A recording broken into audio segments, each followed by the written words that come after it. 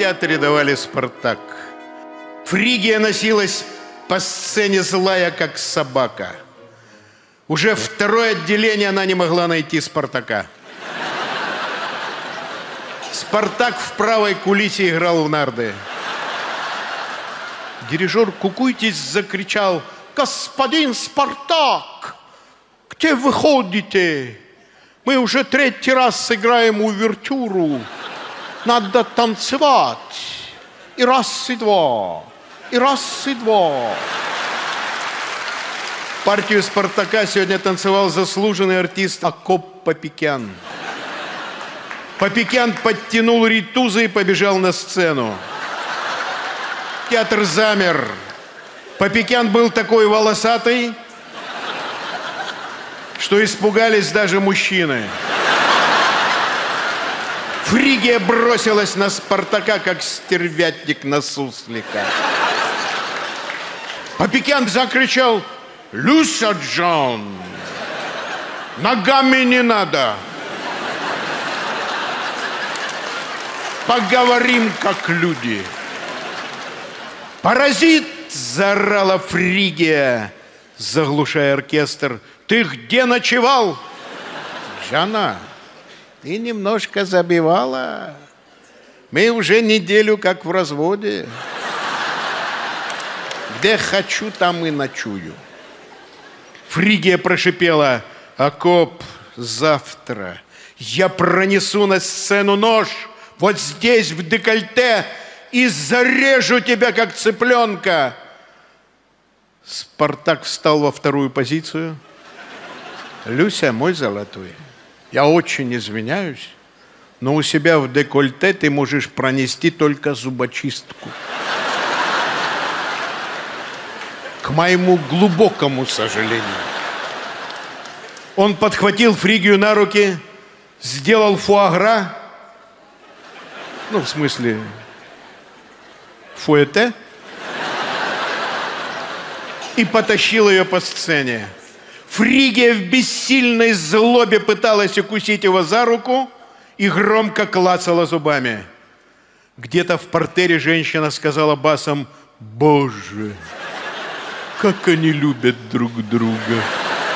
и зарыдала.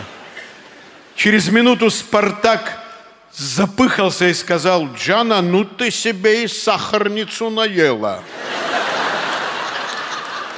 Люся гордо подняла ногу, да, но не тебе этим сахарком лакомиться. Тем более, что ты редкий гад. Кто гад? Я гад. Попекян поднял Фригию над головой. Зачем такие вещи говоришь? Детям помогаю, твоей маме долма делаю.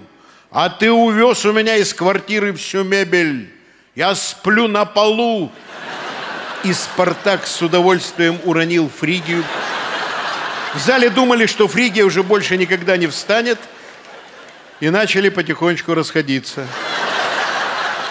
Но Люся вскочила, как и не падала.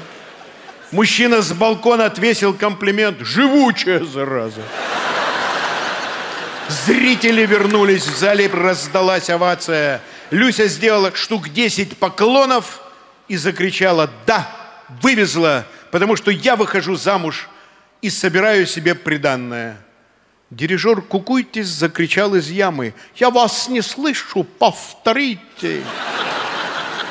«Что вы собираете?» Люся заорала «Не твое собачье дело!» Кукуйтис помахал палочкой. Спасибо. Вы первая, кто поздравил меня с юбилеем. Приготовились и раз, и два, и раз, и два. Люся ехидно спросила Акоп, ну теперь-то ты счастлив? Конечно, очень. Но есть маленькие проблемы. У нее от первого брака трое детей и кошка – от второго брака попугай, собака и свекровь. И всех надо гулять и кормить. Кормить и гулять. Как я устал гулять и кормить. Спартак заплакал. Фригия подхватила его на руки. Ну что ты, Акопчик, Джана, успокойся. Ты самый лучший танцовщик в мире. Ты в сто раз лучше Турсунова. Попекян выпрыгнул у нее из рук. Люся, у Тарсунова все поменялось. В Париже Турсунов танцевал танец саблями. Не туда махнул саблей. И в один момент из плохого танцора превратился просто в замечательного танцора.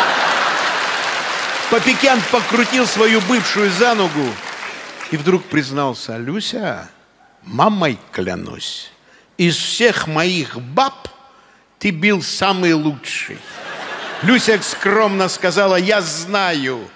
Дирижер Кукуйтис закричал из ямы, прекратите разговоры. Люся взвелась метра на четыре над сценой и заорала, не прекратю. Слышите, я лучшая. Театр вздрогнул от оваций. В кулисах стояли их дети. Младший Славка спросил, если наша мама самая лучшая, почему папа с нами не живет? Старший сказал, а потому что мама всегда говорила, что у папы от красивых женщин сносит крышу. Вот у него от нашей мамы крышу и снесло. Он ее отремонтирует и вернется. Он же не может жить без крыши с самой красивой женщиной в мире. Спасибо.